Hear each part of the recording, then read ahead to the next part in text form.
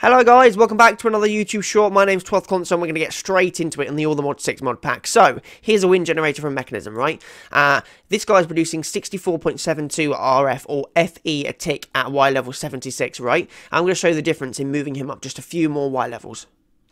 So we're now at Y level 132 and he's now producing 105.45 FE a tick. Not shabby, but we can still do better.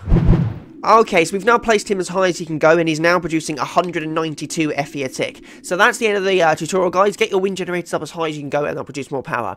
Make sure you like and subscribe if you enjoyed the video. Make sure you hit the bell so you get notified when I go live and upload a new video. Other than that, guys, see you later. Have a good one. Stay safe, and uh, yeah, see you in the next video. Bye-bye.